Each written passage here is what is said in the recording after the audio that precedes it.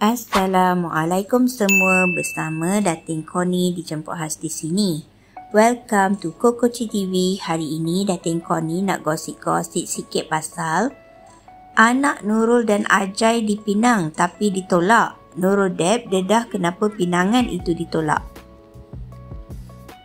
Pernah dengar tak cerita macam ni? Artis biasanya perempuan dapat mesej dari peminat yang nak berkenalan ataupun ada yang terus ajak kahwin. Itulah di perkara yang pernah dikongsi penyanyi Nurul Deb yang keliru sama ada lamaran tu diluahkan pada dia atau anak dia Ayu Nazira. Sayangnya lamaran itu ditolak mentah-mentah Ayu yang waktu tu baru je berumur 23 tahun.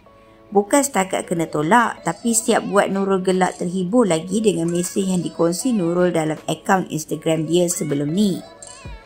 Kami tak larat nak gelak. Ni nak meminang kami ke nak minang anak kami? Ha ha ha. Kami tahulah kami nampak dua beradik hai wak. Saya takutlah wak. Ha ha. Jangan duk Jangan main-main cik oi. Set lagi bapak dia pendekar Johor tu naik angin set lagi kami tak tahu. Tu belum lagi pendekar Perancis keluar. Tapi manislah adik ni. Tak tahu dia minat mak Ayu ke atau Ayu. Mainlah jadi anak angkat. Tok Sah jadi menantu. Ayu bagi jawapan kata gagal sebab panggil mak dia awak. Lah ni no senang sungguh zaman cyber nak ngorat Twitter kat Instagram kat Facebook.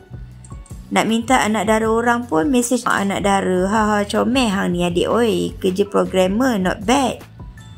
Jangan kecewa tengok jawapan Ayu. Fresh dia set lagi ni. Jangan terjun bangunan no. Anak kami biasa je no. Sila cuba lagi. Ya, kejap-kejap. Nak lihat apa seterusnya? Subscribe dulu, okey? Okey, sedikit ya. Janji-janji. Okey. Satu, dua, tiga. Okey, subscribe. Terima kasih.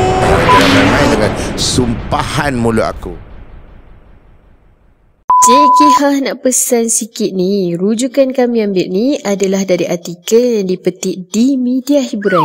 Hati-hati ya nak pilih kesahihannya. Kami tak pula nak bertanggungjawab.